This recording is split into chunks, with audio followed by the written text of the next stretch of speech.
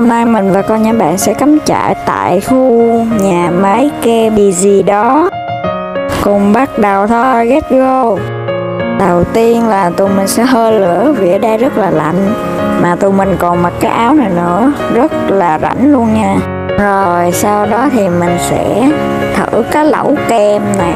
Nó rất là ngon Nhìn rất là thèm luôn Rất là mờ lem mờ lem. Luôn Ngon vậy mà dám đạp lên nhưng vẫn rất là ngon nha.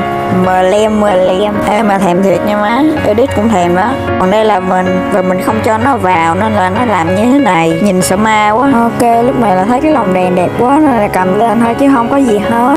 Bây giờ thì chúng ta sẽ trượt đồi thôi.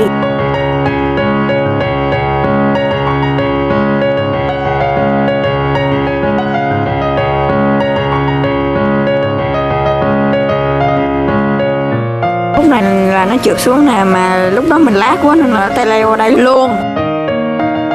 Là nhỏ bạn nó về leo nè, giờ mình làm khùng làm điên thôi. Ok, vlog tới đây là hết rồi, tạm biệt mọi người nha.